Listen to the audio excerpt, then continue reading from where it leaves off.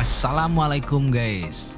Kali ini video menikmati perjalanan ke Jabal Sur di kota Makkah. Para jamaah sudah mulai berkumpul dan bersiap di depan hotel tempat kami menginap. Sekitar jam 7 pagi jamaah diminta segera naik ke bus yang sudah menunggu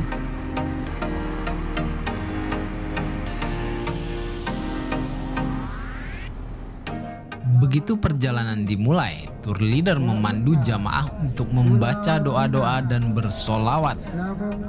Kemudian dilanjutkan dengan penjelasan seputar sejarah peristiwa Jabal Sur. Jabal Sur atau Bukit Sur terkait dengan peristiwa hijrah Nabi Muhammad SAW ke Madinah. Letaknya di tengah-tengah kota Makkah, sekitar 4 km di selatan Masjidil Haram. Sepanjang perjalanan kami menikmati pemandangan hamparan bukit-bukit batu yang tandus.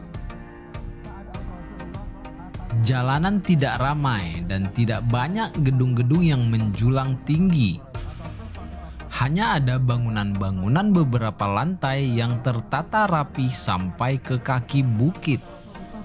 Kurang lebih 15 menit perjalanan, kami sudah sampai di gerbang Jabal Sur. Sudah ada beberapa bis pariwisata yang parkir, namun tidak ramai seperti hari-hari biasa di luar bulan Ramadan.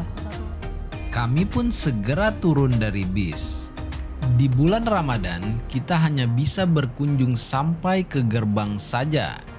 Pemerintah Arab Saudi sengaja menutup tempat wisata agar jamaah umroh lebih banyak menghabiskan waktu untuk beribadah di bulan Ramadan.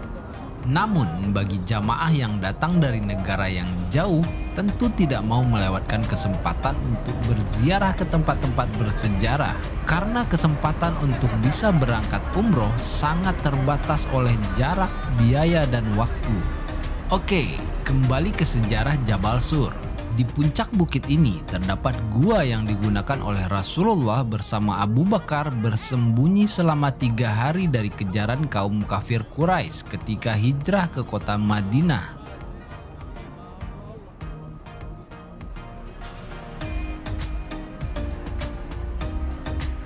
Demikian video trip kali ini. Kita akan lanjutkan di sesi berikutnya.